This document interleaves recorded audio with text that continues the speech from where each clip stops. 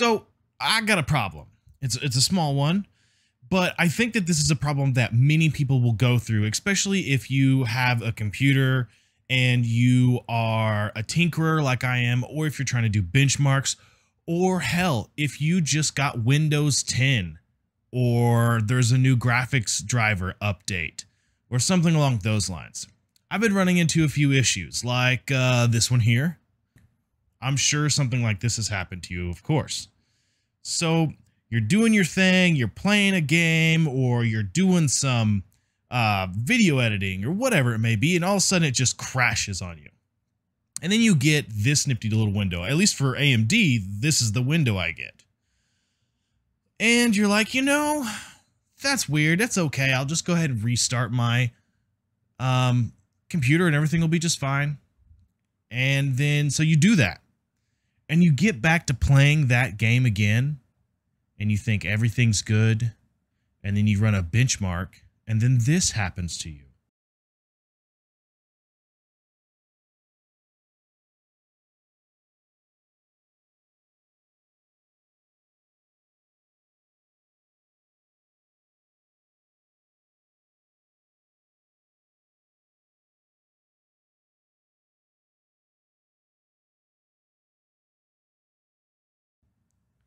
Now, if you're like me, and I know that most people aren't, you're taking a graphics card and you're swapping that baby out, and that graphics card is not the same that was in there previously, and so things are getting confused. Now, what's happening specifically is that the driver is having a hard time doing what it's supposed to do right now, the graphics card I have in my computer is an RX 580. That is going to be the next video that'll go up normal time.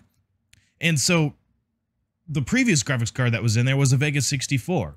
And so what has happened is I have a driver that is used to a Vega 64 graphics card. And then I did nothing. I pulled out that graphics card. I slapped this graphics card in here because it's made by the same vendor and it's technically supposed to be okay to use technically because it is um you know using the same driver and everything but there's different stuff happening on the BIOS level and the driver level with each graphics card. And so that's why there's certain problems. Now, if you don't swap graphics cards out regularly, then what you'll find is you'll still have this problem sometimes. And so here's kind of what has happened there has been an update on top of an update on top of an update. And if you're like me, you update every time because you want the best driver that there is out there. And so what's happening is is every time you update it is kind of layering itself on top of itself. And if there's a problem somewhere in there, then that problem becomes worse and worse with each new layer. So every now and again, I'd say every other driver update or so, you should completely just wipe the drivers. But Jordan, how am I supposed to do that? So there's this nifty program called DDU or Display Driver Uninstaller. And I'm going to walk you through how to use that really quickly um, I'm gonna. There's a few extra steps that you should absolutely take because if you don't, then you're gonna find out that Windows takes it upon itself to install drivers all while you're trying to reinstall your driver, and that winds up screwing up the process that we are about to do. So let's get into that. The first thing that you're to want to do is download DDU. So just literally search DDU. It'll be display driver uninstaller. Download that program, and that's good. And the second thing that you need to do is you need to download the driver for your graphics card. The third thing that you need to do is you need to come down here in your bottom left hand corner where it says type here to search and type advance. I don't even have to go all the way, but type advance for View Advanced System Settings. Open that. Okay. So now that you're there, you're going to see uh, several different tabs. You're going to see computer name, hardware, advanced system protection, and remote. What you need to do is you need to go over here to hardware. And then you're going to see two other options. You're going to see device manager and you can click device manager or device installation settings. And you want to click that one, device installation settings. And then it's going to pop up another window. And this is where Windows makes me mad because this will reset when you do an update. So just just when Windows update updates, this is going to reset. Not always, but it does. So, do you want to automatically download manufacturers' apps, custom icons available for your devices? No. Now, the reason why you don't want to do this is because what's going to happen is Windows is going to find what it thinks is the latest driver. It's going to download it, it's going to install it, and then you're going to be sitting with, let's see, we're on 21.9.2, so it could be 15.7.3. It could be whatever Windows thinks that it needs to be. And when you go to reinstall your driver software and your drivers, that is going to that new driver that you're installing is going to install on top of what Windows has already put, which is all which, which is creating a problem that we're trying to eliminate. So, click no on this one, save changes, and away we go. Okay. So, here's the very next move that you need to make. In order for DDU to work, it needs to be done in safe mode.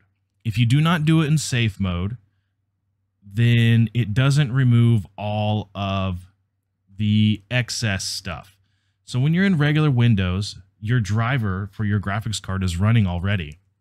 And so when you do when you run display driver uninstaller, it doesn't remove all that super hidden stuff like the registry keys and all of that. And so what you'll do is you're going to wind up still having those extra bits of information left that doesn't go anywhere and that can create a problem.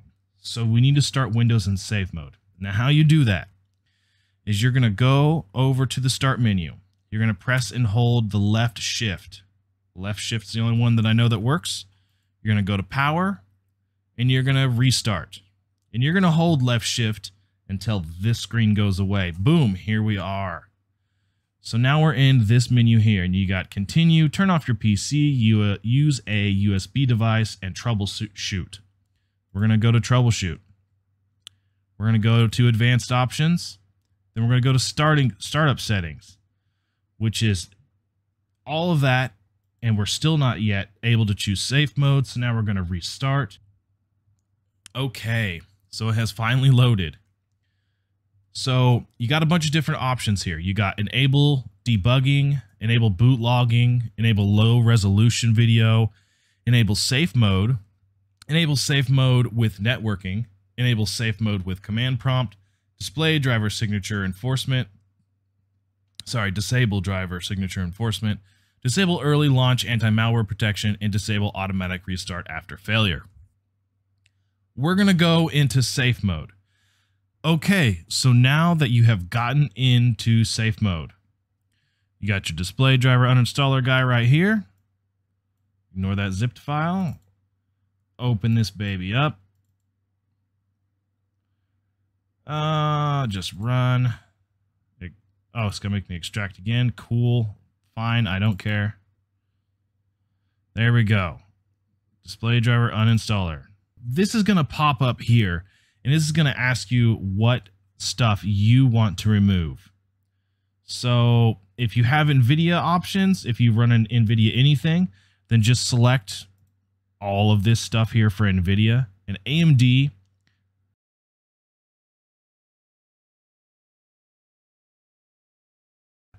And then down here for advanced options, says change at your own risk. Enable safe mode. No, sorry. Prevent downloads of drivers from Windows Update when Windows searches for driver for a device. Click that one, click OK, and now you can close this. Now, it's super simple from this point.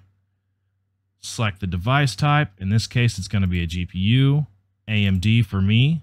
Could be NVIDIA for you, could be Intel for you. That's AMD for me. And I'm going to choose clean and do not restart. I want to be the one to restart it. I want all the power. Just the way it is for me.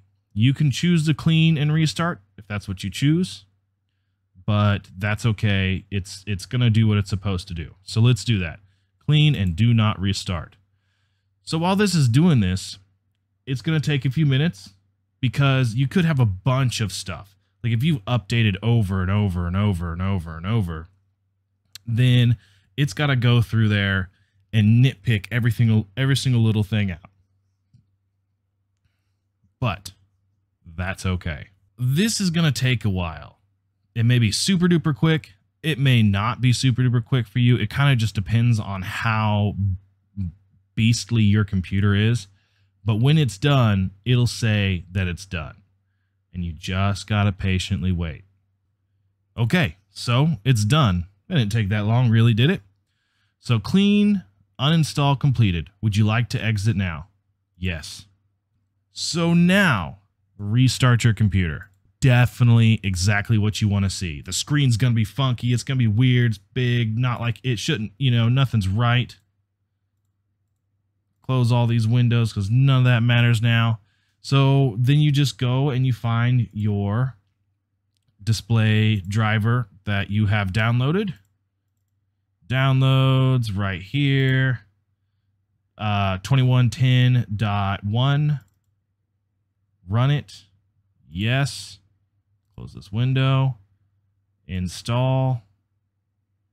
And you just go through your normal install process. So there you have it. That's what I highly recommend you do if you're having display problems because I was just having them and they were being a pain in the butt. And I wish that I could have gotten some of the stuff that I was seeing on camera so you could see what I mean by weird things. I had one crash of a game and a couple of the, hey, the driver timed out crashes, you know. Um, but if this happens to you, don't be frustrated. Just download those two couple of pro download the DDU Make sure you got your display driver so you don't have to look for it elsewhere. Why, especially when you're without the display uh, driver. And uh, make sure to stop Windows from doing the automatic display driver updates. Make sure you just stop that entirely. I hope this video was helpful uh, for anybody who is having any of these problems. It's going to happen. You do two or three updates with the drivers. Just trust me, it's worth doing all the stuff that we just went through. It really is. Anyways, guys, thanks for watching this video. I hope this helps you. I hope if you have any problems whatsoever, especially with your computers, or you know somebody who has problems, please direct them to this video and just follow those instructions and you you're it'll help, I promise. It'll especially helps me because I got to do some more benchmarks. I got another game add to this next benchmark that I'm going to be doing. Um, this next video card that I'll be doing is an RX 580. That'll go up. That's the next video. Um, like, comment, subscribe if I haven't said that already. And I'll see you guys in the next one. Thanks for watching.